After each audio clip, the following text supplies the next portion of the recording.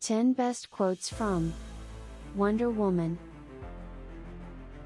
My life hasn't been what you probably think it has. We all have our struggles. If no one else will defend the world, then I must. Power without self control tears a girl to pieces.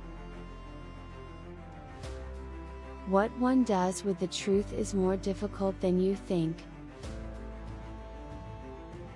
I will fight for those who cannot fight for themselves. Death is necessary.